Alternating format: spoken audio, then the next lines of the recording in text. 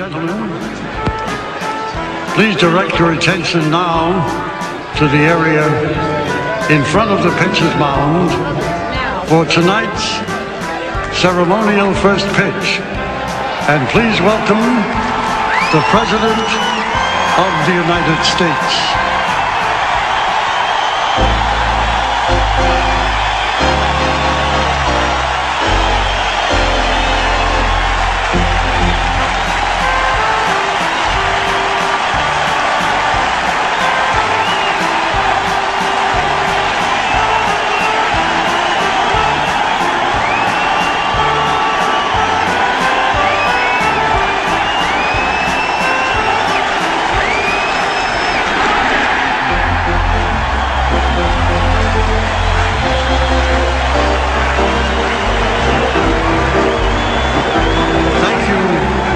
Mr. President.